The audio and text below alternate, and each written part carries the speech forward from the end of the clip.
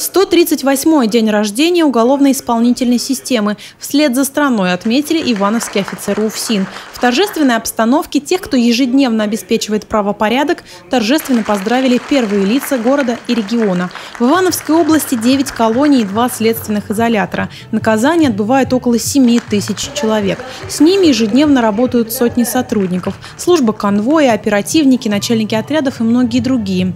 Все они трудятся, чтобы в регионе не было побегов из мест лишения свободы и не случалось ЧП.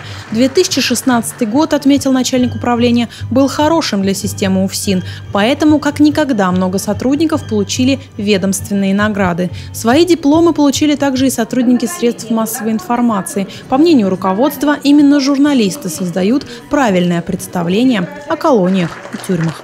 Надо же показать э, народу Российской Федерации, что мы не закрытая система. Давным-давно в прошлое ушли пыточные камеры, пыточные вещи и, скажем так, весь негатив, который копился годами, э, он отсутствует в наших учреждениях. Этого давным-давно нет.